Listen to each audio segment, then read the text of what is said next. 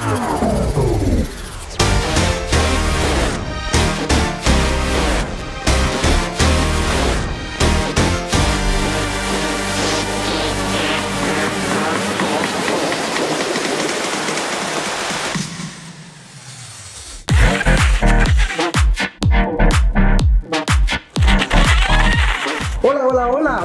gente YouTube, yo soy su amigo Macro21 y en este nuevo vídeo para el canal os voy a enseñar a fabricar una bicicleta eléctrica casera por menos de 80 euros y para ello vamos a reciclar este potente motor de 350 vatios. Para los que no me seguís, en el vídeo pasado yo truqué este patinete eléctrico, tenía 350 vatios el motor y lo he convertido en un motor de 1500 vatios, si queréis ver el vídeo como lo he hecho paso a paso aquí arriba voy a dejar el enlace y aquí abajo en la descripción del vídeo os voy a dejar el enlace por si queréis ver el vídeo, chicos la verdad que es brutal y ya pasando a la bici vamos a plegarla bueno amigos, ya hemos desplegado la bici, es una bici antigua, tiene óxido en muchas de la zona, así que vamos a tener que trabajar mucho para dejarla prácticamente nueva. Pero me gusta bastante porque tiene suspensión delantera, suspensión trasera y es plegable. Y lo que voy a enseñaros en este vídeo es a radiar cualquier motor de patinete eléctrico, llámese patinete eléctrico, hoverboard y demás. Así que ya sin más vamos a empezar en el vídeo. El primer problema que nos enfrentamos con esta bici, no tenemos transportino portacargas y es un gran problema porque es ahí donde van a ir nuestras baterías y para poderle adaptar un transportín he comprado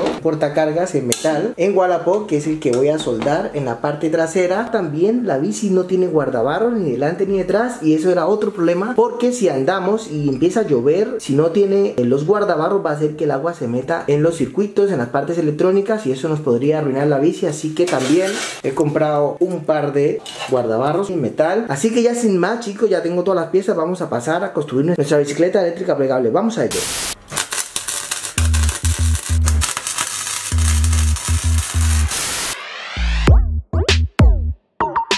Bueno amigos y para poder radiar el motor, ¿vale? Que es, mucho más grande que el eje de la bici No podemos utilizar los mismos radios de la rueda de 20 pulgadas. Eso tendríamos que utilizar una bicicleta donante, como veis ahí.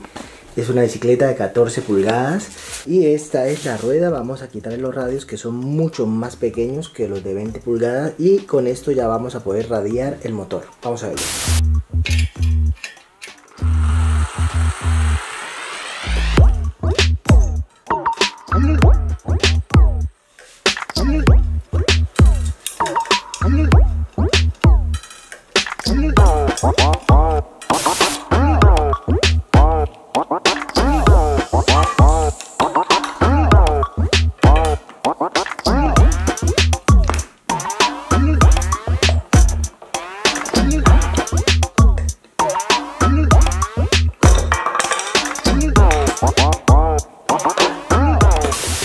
como podéis observar el motor es brutal, es un motor de 350 vatios, así que vamos a pasar a enseñaros cómo se colocan los radios, vamos a ello.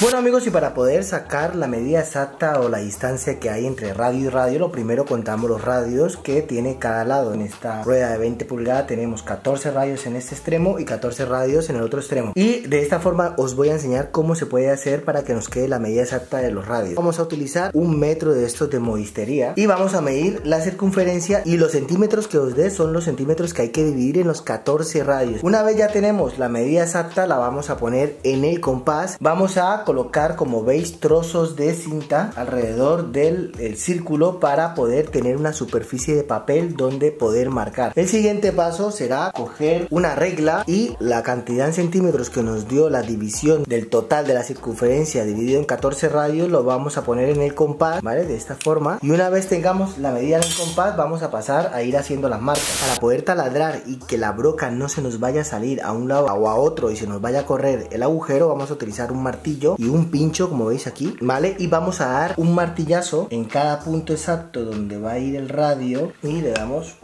y lo hacemos así con todas las marcas.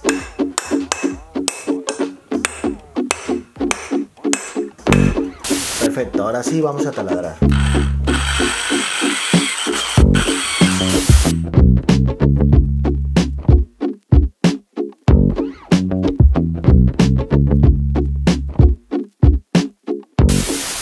Hasta aquí la parte eh, sencilla de colocar un radio sí, uno no, dejando un espacio entre cada uno de los agujeros.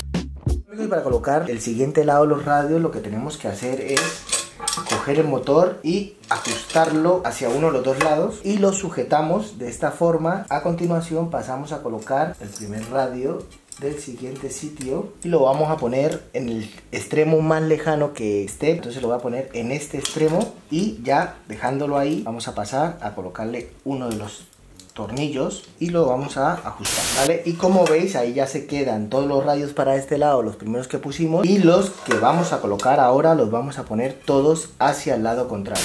Bueno amigos, ya hemos colocado todos los radios y luego lo que he hecho es ponerla en la bicicleta donante, en la bicicleta pequeña que me ha donado los radios y en la parte trasera la hemos encajado y aquí vamos girando para centrar el ring y más o menos os tiene que quedar así está casi centrada. Y el truco para poder centrar la rueda es muy sencillo chicos. Los radios hay que ajustarlos más no apretarlos. Los vamos a ajustar todos y luego le vamos apretando un poquito más aquí un poquito más allá hasta que quede lo más recta posible. Y ya en este punto vamos a pasar a montarla a nuestra bicicleta